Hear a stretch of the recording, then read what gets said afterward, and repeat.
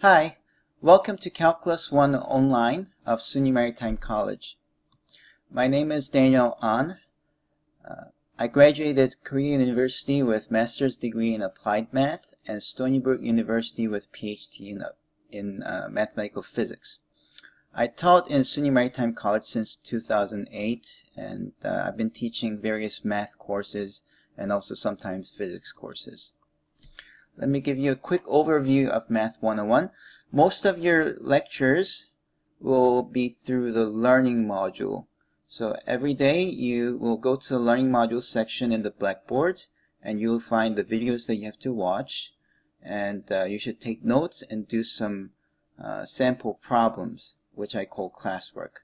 The reason I call this classwork is that's exactly what I do when I teach this class as in person.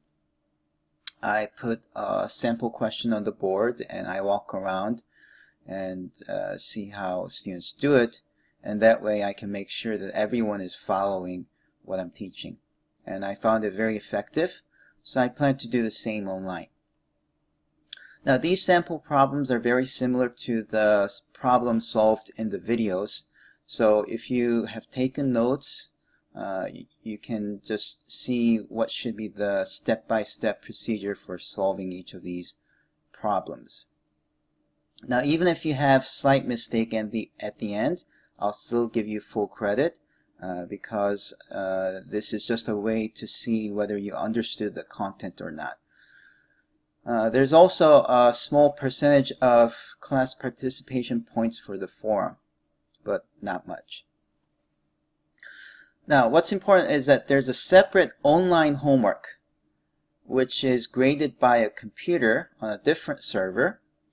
And because this is graded by a computer, your answer has to be exactly right. And that sometimes do cause frustration, and that's why you are to discuss these homework problems on the online forum in the Blackboard. And uh, by doing so, you're you should be able to solve all the problems. Uh, now, there is a separate link for this online homework and you have to go to the syllabus, read the syllabus, and there you're going to see the instructions for having this, having access to this online homework.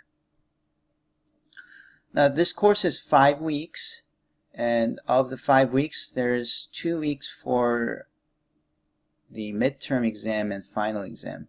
That means there are three other weeks where you don't have any exams. And for those three weeks, I will have an online quiz through Google Hangout. Now, the Google Hangout quiz is a group quiz. I put a single question and everybody solves. The first person to solve it will be given full credit and they can leave early. Uh, people who don't get to solve it before others, they'll have to keep working. And there are some other uh, rules, and uh, these are also explained in the syllabus too. Now, some important facts. You must have a smartphone or a webcam to be on Google Hangout. And I have to see the, the way you work because I have to make sure that you're not cheating. Uh, you may consult your notes. Uh, that's why it's important to take notes of all the videos.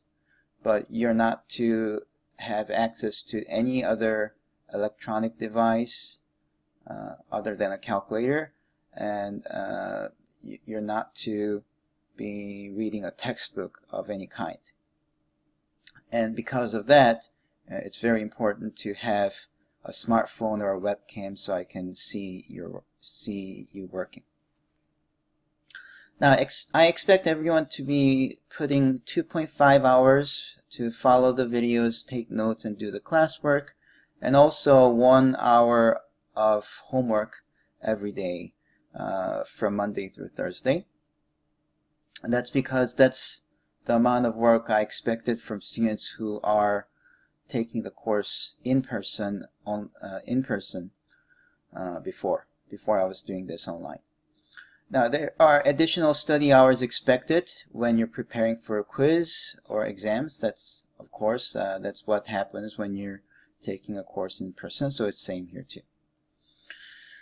You have to come to the campus on the following two days to take the exam. Midterm will be Friday day of the third week, and final will be Friday of the last week, the fifth week. Um, now, this is for everybody who lives in the 50 mile radius of the SUNY Maritime ca campus.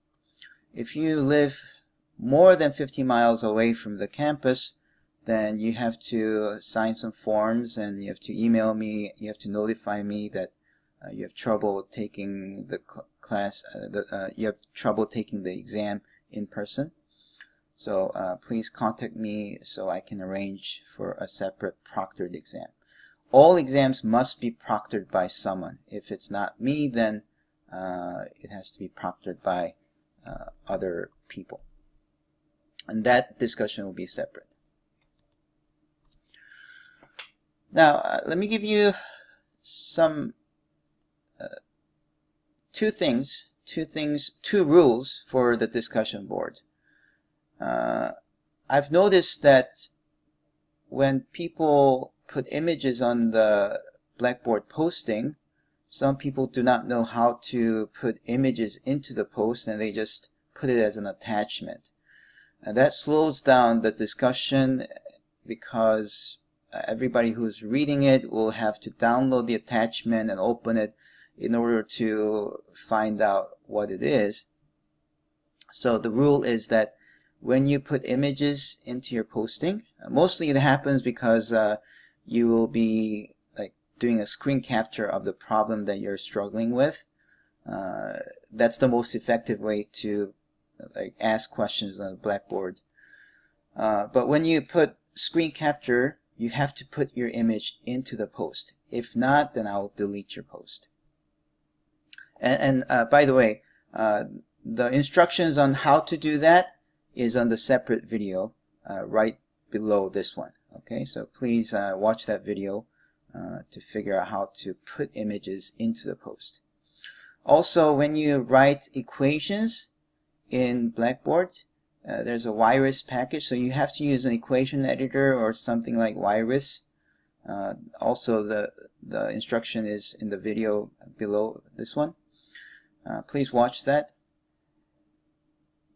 The first day, you have to put one posting on introduce yourself discussion board. And there are two requirements for your introduce yourself posting. First, you have to put one image into the post. Uh, it could be anything like a picture of yourself will be great, but you can also put uh, something that you like. Also, uh, you have to put a sample equation, right, uh, using this WIRIS. Okay, uh, I hope uh, you'll be able to follow everything with no problem. If you have any questions, you can use the discussion board, ask the instructor to uh, address any questions or, or, uh, or problems you face. Okay, thank you.